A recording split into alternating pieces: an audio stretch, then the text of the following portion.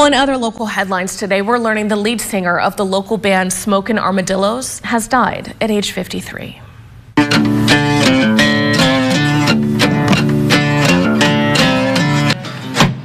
Now, that's according to a family friend of Rick Russell, who is the lead singer.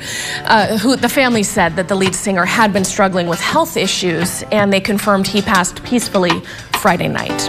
Now, the band wrote, quote, he brought so much joy to those who knew him and those who saw and heard him on stage, but he also felt so much joy in being able to sing and perform for so many of you over the past 30 years.